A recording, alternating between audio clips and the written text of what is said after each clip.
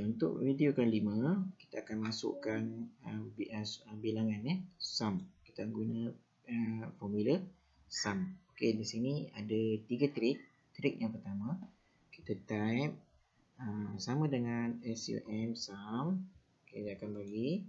Kemudian kita drag daripada i1 i2 sampai ke y2 okey kita enter.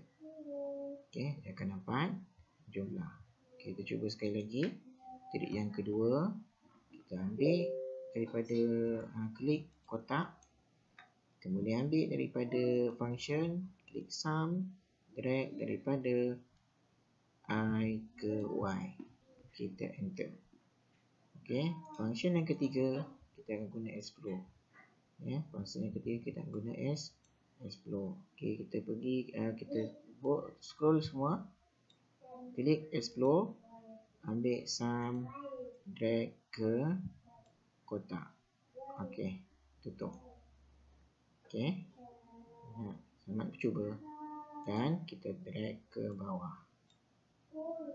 Okey, itu saja. Terima kasih.